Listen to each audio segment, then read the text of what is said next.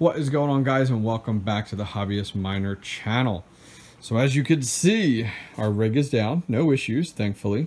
We do have a sweet GPU riser ready to go here from gpuriser.com. Check that sucker out, so cool looking. Actually has the gold uh, USB uh, female port on it, which is so sweet. Uh, this is the one actually has the blue and also the red uh, LED lights on it, which are really, really nice. So today we're going to go ahead and take a look at this guy. This is our first 8 gig card. This is the uh, XFX um, RX 580 8 gig card. So let's go ahead and take a look here. Uh, we got our hands on this just recently. Uh, let's see if our camera is going to let us focus at all.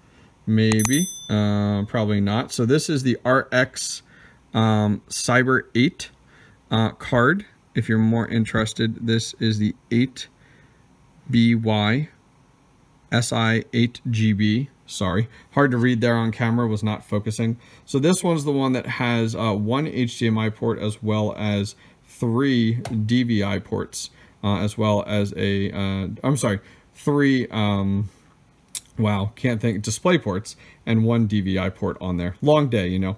So this is the XFX. Um, nice card, actually. Uh, was actually kept in, in really well condition. Got this actually from a kid uh, that went ahead and actually had his mom drive home. We met at a um, supermarket, a food store, and uh, it actually worked out well. I don't think he knew what he had though, and, and that's what I've been really successful with getting these cards recently, is kind of looking for these individuals that don't really know what they have. Um, let's go ahead and move this back from the ledge. So nice card here. Um, you know, he didn't know what he had. It actually, he had it listed for 300 on offers up, I believe. No, 275 maybe. Uh, and I was able to go ahead and get this card for 250, um, which is really nice because right now, if you go ahead and take a look, um, people are selling these for like five, six hundred dollars, which is crazy. So it's an eight pin, just one eight pin, which is awesome. Good to go. Um, so what we're gonna do, guys, is we're gonna go ahead and uh, plug this sucker in and uh, see what type of hash rate we can get. In the meantime, I wanted to show you guys before we do that. Let's go ahead and lay that down nice and softly. Um, so if we want to go ahead and take a look at this card with the sizing, here is a 470 and we can see the size of it uh, a little bit bigger, maybe just for this back shroud. Um, but right around the 470 size. Uh, if I take a look at a 570 here and put this guy side by side, we're trying to get better at the camera work, guys. We're trying. 570, it's a little bit bigger, definitely thicker um, with the shroud uh, for the 570. So let's go ahead and power down the camera and get this sucker plugged in. Alrighty, we are in and good to go. We haven't powered it on yet. You can see we are in the case there. It does reach back to that back support bar, which is great, so it's not too small. Um, other than that, we do have an 8-pin running to that there, and we are on the GPUrisers.com.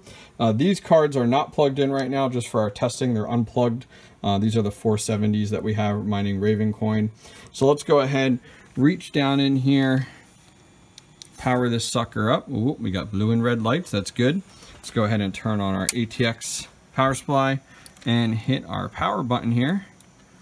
And uh, looks like our fans, ooh, let's move that out of the way. We don't want that to be too close to the CPU fan there. Come on, you're fighting me. I don't like that. All right, we'll have to get to it in a minute. Um, so fans are on. These cards are on, but they're not actually plugged into anything and we can see our card is set and ready to go. No fans quite yet, no configuration going. So let's go ahead and jump over to the computer and we'll see what we're getting with our 580. Alrighty guys, so we are into Hive OS here. We have no flight sheet applied. We have no overclocking applied at all right now. Uh, you can see that it has recognized the card Radeon RX 580 8,192 megabytes on the sucker with the XFX. Uh, we're, this is the Samsung memory, which is great on this guy. We'll take it. And we're running at a whopping 32 watts right now. So let's go ahead on our flight sheet. We're going to apply uh, we're not going to use Ravencoin. Uh, we're going to go ahead and remove that and we're going to apply a, a different flight sheet here. Um, so let's go ahead and see. I wonder why that one popped up. Interesting. Um, so let's go ahead and remove that flight sheet.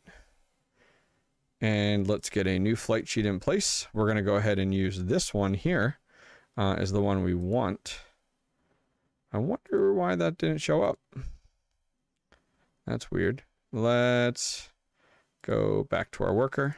Maybe I'm missing something.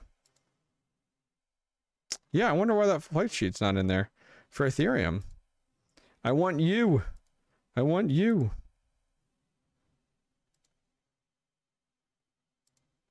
Well, that, I set it as default. Let's see if that worked. Weird. It's so weird that it's not, I mean, I can go ahead and fill this in, but it's so weird that it's not coming up. That's odd to me. All right, we're just going to go ahead and populate this real quick. We are applying the flight sheet, um, and we are uh, going with, okay, so we're going to do Ethereum. We're going with um, the uh, my wallet in there, Hiveon uh, pool with Team Red Miner, and we're just going to go ahead and call this Ethereum uh, test flight sheet. Okay, cool. Create that flight sheet. Flight sheet created successfully. Um, so now let's go ahead and go back to our worker check our flight sheet. There it is. I'm like, what is going on there? It's weird. So let's go ahead and apply that. We've applied this flight sheet. It is set. So let's go back to our overview here.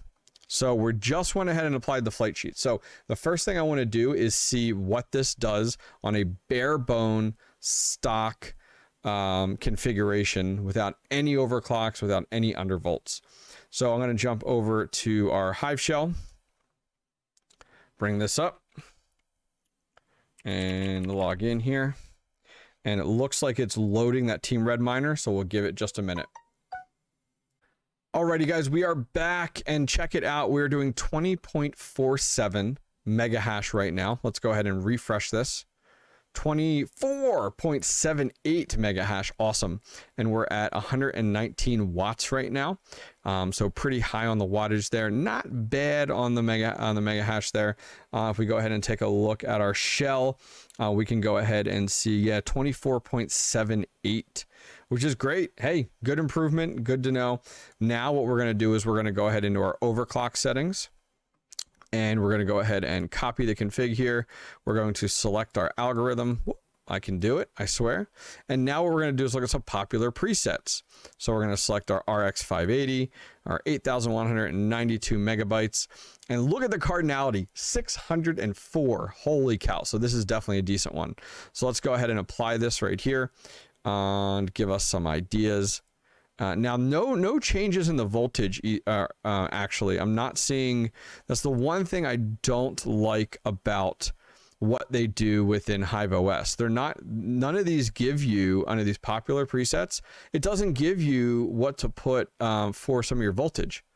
It gives you the DPM, but wh where's the recommended voltage field? drives me nuts. I know everyone's different, uh, but we'll have to take a look here. Okay, so we applied 1150 on our core clock. We're going with a core state of one, and then our memory clock is at 2150. So I'm going to come in here and start this out at 900, and we'll kind of see what we do. Um, other than that, let's see. Let's look here. What else can we set? Let's set a one for our mem state, and then our refresh rate should be 20 um, based off of this here. And let's do the aggressive underclock settings as well. And let's save it and uh, let that sucker apply. And we'll be back in just a minute and see how we do. Alrighty, guys, we are back. And with those settings, we're at 28.24. We're so close to 30. So close to 30.